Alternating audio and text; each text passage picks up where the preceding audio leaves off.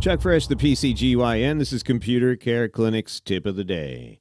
So, one of our most common questions is Hey, I've got this wireless network. Can you come out here and tell me why it doesn't work? Well, in a nutshell, no, I can't. I mean, we could troubleshoot a bunch of things, but um, basically, there's a whole bunch of things that need to happen in a proper sequence for your wireless network to work and work well. Um, we'll go through some of the more common problems that people experience here. Well, hopefully, uh, one of these things will resolve your issue if you are right now having a wireless connectivity problem. Some of the older laptops were not compatible with some of the WPA, which is the new wireless encrypt new not new, but newer wireless encryption standard. But that's typically not a problem over the last five or six years. I think just about everything's WPA compatible. If you have a really old laptop, we're talking seven, eight years, it may not be able to connect to the newer wireless networks, but that's not always a problem because you could always use the old WEP encryption uh, on your uh, on your wireless router to uh, go back to the old way of doing things, and then all your computers should be able to connect to it. On our website, again, we have an article here under the uh, helpful article section on our website of all the different things. I can't cover them all here because of time, but uh, we'll talk about a couple of the more uh, common problems we see on wireless network troubleshooting. So, uh, the first thing you want to do is check your internet connection. We here in uh, Central Florida are stuck with Bright House or AT and T. There's no other options here. So uh, Bright House provides the hardware for these things, and a lot of people have signed up for the full package where they get TV, telephone, and internet. And uh, the telephone and the internet, in a lot of cases, share the same transmitter. So uh, what you'll do is you'll call Bright House technical support, say, "Hey, my internet's down," and they'll go ahead and run a test. Oh, well, the line going to your house looks okay to us. We want you to reset your router. Um, in most cases, some of the routers just have a little plug on the back of it, and you can unplug it. However, if you do have the combined telephone service or one of the newer routers, you may have a backup battery. So unplugging it doesn't reset it because the battery will kick in once it loses power. And they do this so you don't lose your uh, phone service in the event of a power outage, which is a smart idea. So, on Bright House's website um, and probably every other website, it shows you the model. You can click on it and it shows you how to remove the battery. So, once you unplug it and remove the battery, the device can then reset properly. And sometimes, uh, essentially, think of these little wireless routers or these routers as little computers. They're self contained little computers. And once in a while, they kind of, through a power surge or bad logic or whatever, they just need to be turned off and turned back on again so they can reset whatever it is that they're doing internally. So, whole bunch of stuff uh, probably on your internet service provider's website on how to take these batteries out and reset it if it has a battery. Again, if you don't have a battery, you just unplug it and uh, it'll reset itself. And nine out of 10 times that will take care of your internet problem. Now, you'll know this. Most people have multiple wireless devices on their home networks. So if one of them works, that means your internet connection is fine. But if uh, none of none of your devices, your cell phones, your smartphones, your iPads, your uh, smart TVs, if none of those can get online, then you know that you have an internet connectivity problem, and it's time to talk to your internet service provider. All right, so the next thing we want to talk about is uh, restarting. If you do have a separate wireless router, a lot of people just have cable modems or DSL modems, and then they put their own wireless router in to uh, send that signal up to theoretically it's up to 255 devices, but in most of these devices it's limited to 100 or less.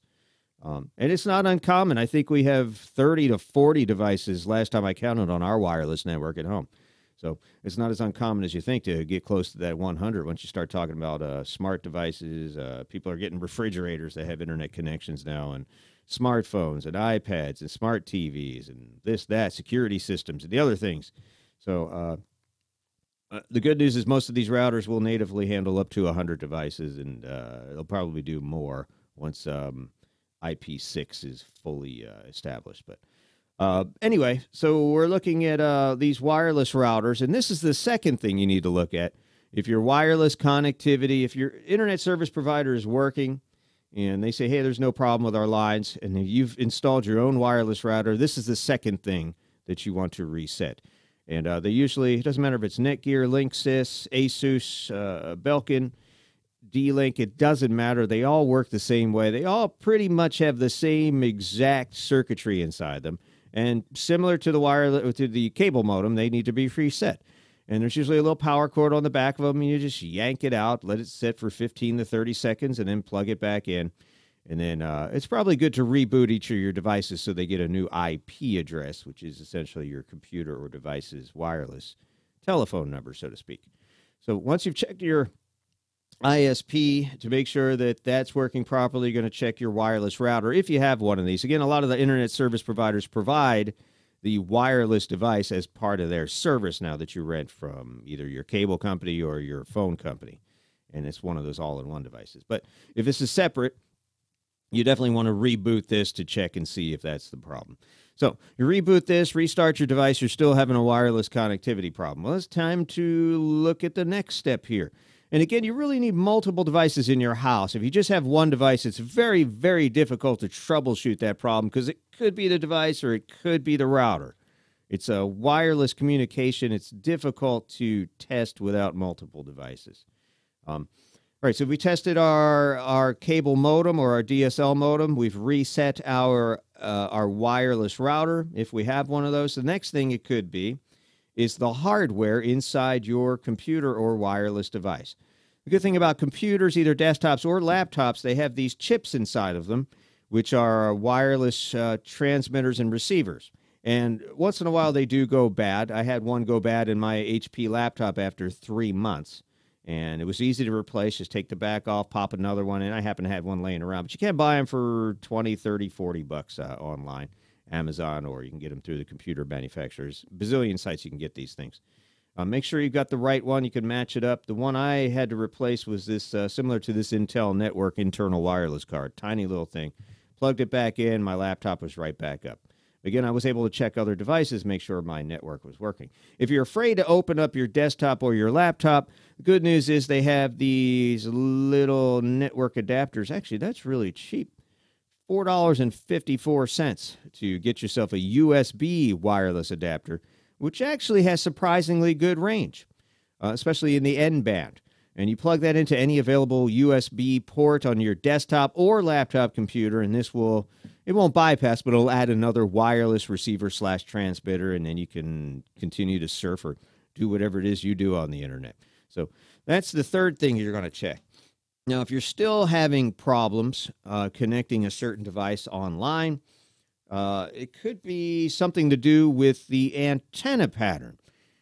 There's a bunch of things that happen in without getting too technical in terms of wireless communication. There's interference, which is the number one baddie, and um, basically a lot of wireless devices can interfere with each other. Uh, we're talking cordless phones, or even talking other normal appliances like refrigerators and microwave ovens. Something that's in the line of that communication between your device and that wireless router. It wasn't there before, something that was recently replaced, something that was turned off is now turned on. Um, the interference could interfere with your wireless connection. Usually you can just move to a different location and that interference problem is resolved. If that doesn't work, then you may be in what's known as a dead spot because all wireless transmitters are they have some sort of directional properties to them. And uh, here on Cisco's website, you can look at uh, some of the directional uh, diagrams. It shows how these antennas, whether they're vertical or horizontal, how they transmit and they have certain uh, ways they can. If you look at this one here, there's certain directions. They're kind of directional in most cases. So if you're looking at these two little balls here and you're outside of that area, you're going to either lose or not be able to get a strong wireless signal. So you can resolve that by either getting an extender, which will amplify your uh, wireless signal, or you can actually physically turn your wireless router in a different direction, which will then move these patterns to a different location. And that may affect somebody else in your house or business who may now have spotty trouble connecting to the uh, to the internet uh, wireless router if you do move it. So keep that in mind.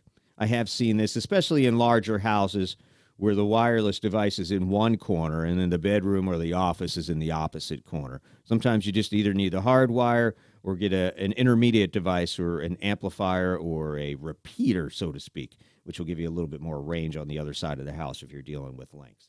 Those are the big ones, the more uh, obvious problems with wireless networks. Now, there are some like really strange idiosyncrasies where you'll have one device that just can't connect no matter what you do. And in that case, we recommend, and this works 99% of the time, we tell people just to reset your wireless network. Now, if you've got 20, 30 devices, it's a real pain in the butt to do this. But if it's important that you get this one device connected to your wireless network, if you're the guy or the woman paying the bill for the internet service and your device is not connecting, well, Heck with everybody else, man. You're the king. Reset that thing. And that is involved in resetting your wireless routers. It's called an SSID or uh, the, the wireless network name. So if your network's called Bob's Network, you want to change that to Bob's Network 2. Something that's materially different, even one digit off from the old SSID, so your computer and all your devices will think it's a brand new wireless network. And you also want to change that password too. It's always good to change your password and flip that up too, just so there's no confusion. You can't just change, and for whatever reason, I don't understand why this doesn't work, but if you just reset the password on your wireless network, all your devices are going to be confused, and it's sometimes difficult to find the place in your wireless device where you need to change that password. So rather than doing that, just wipe out the entire network and force everybody to reconnect. And again, 99 out of 100 times that miraculously works, assuming there's no hardware problems. Um, and the other thing we see are well, the other two things is human error, as we're looking at down here. Um, sometimes you do something called a finger fumble, and uh, you happen to hit a switch on your um, on your laptop or your iPhone or whatever that turns your device into airplane mode or disables the antenna on your keyboard or the uh, wireless antenna. So once in a while that happens. Usually on most laptops you can see a little lit up indicator that has a, a looks like a tower with a couple of antenna waves coming out the side of it. So make sure that's the right color. Some of the old Toshibas have the switch on the front or on the side of the laptop. And uh, it's a little more difficult to do it on a phone. You have to actually click the airplane mode, but you may have just come back from a flight and forgot to turn your phone back on. Who knows? Human error. It happens all the time. And then the other issue could be that your computer is just fried with a virus, malware, or something that affected what's known as your TCP IP stack, which would pretty much prohibit you from connecting to any internet, whether it's wired or wireless. Even if you do all that other stuff, troubleshoot everything, your computer just won't connect. So at that point, you either want to do have a professional do a, a uh, malware removal, or you could reload Windows, which is kind of drastic. Remember to back up all your information first, because if you reload your computer, it will wipe everything out permanently. You don't want to do that. So make sure you have a good backup plan. We do have a backup video on our website, so please subscribe and like. And thanks for watching.